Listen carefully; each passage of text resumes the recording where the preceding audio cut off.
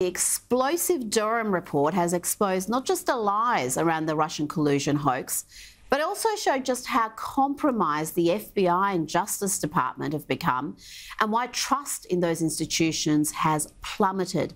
Special Counsel John Durham's 316 page report is devastating for those who push the Russian collusion lie for four years. The Democrats and the media's complicity in this saga have been, well, well demonstrated. But this report found the FBI should never have launched its investigation and that it had no real evidence before it launched its probe. And it knew that. As James Bovard wrote in the New York Post, Durham exposed how the FBI and Justice Department plotted to rig the 2016 presidential election.